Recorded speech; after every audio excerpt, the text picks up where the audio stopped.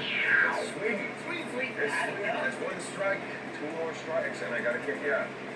Okay, next question's are worth one hundred dollars. Okay. What famous men's magazine did Bob Guccione launch in England in 1965? Just a guess. Men's health.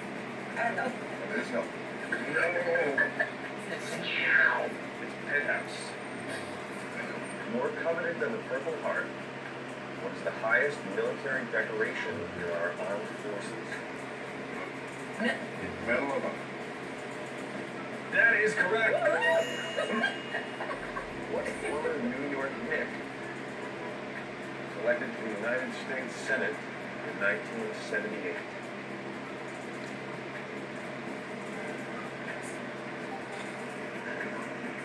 Former basketball player Five seconds, guys. Ain't Patrick Ewing. Oh, time's up. Get a guess. Oh, no. Bill Bradley. Bill. I didn't know that. All right, guys. Oh man. It was a good so run. close. But now you have to go. Well, thanks for the ride. Very exciting.